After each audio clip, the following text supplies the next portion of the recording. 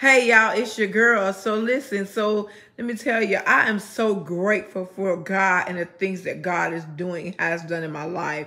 And I wanted to begin to share and encourage others, amen, for the fact that God is a keeper. He is a sustainer of those that believe in Him, that trust in Him. He loves His children so much. And so I honor God tonight, amen, because because of that, because of all that he's shown and all that he does in our lives. Amen.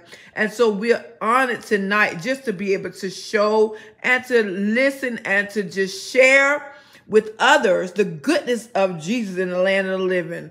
I'm going to wait on the Lord and be able to get courage while he strengthens my heart.